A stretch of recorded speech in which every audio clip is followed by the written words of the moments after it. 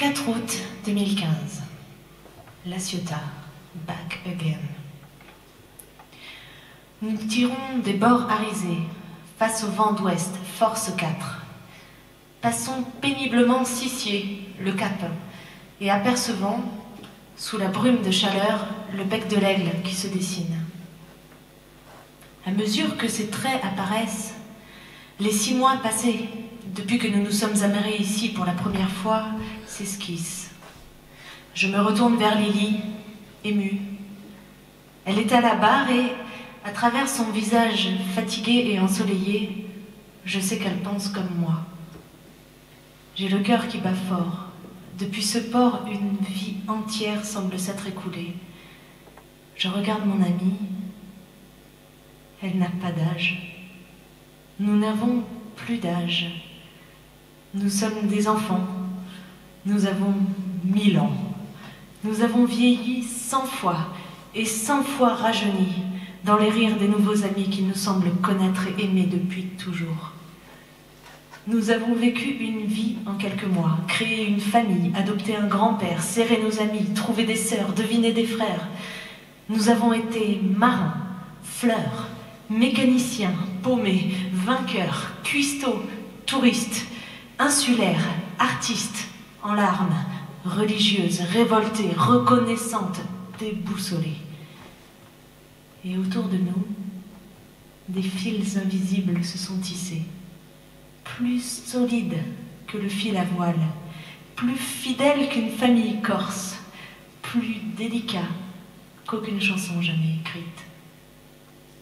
Qui étions-nous avant les frères Mistral, avant grand-père Hervé, avant Raph et Sabine, avant Mauro, avant Céline et Ben, avant, avant, avant... Il y a six mois, tu sais, il y a dix ans, nous étions là, insolente et solaire, sur cette terre fertile où pousse aujourd'hui un nouvel arbre généalogique, dans le vent du large, à la force des rires et à grands coups de cœur. Et ses branches sont belles, de frangins en bourgeons, d'oncles, de cousins, de sœurs devinées, d'amour en floraison.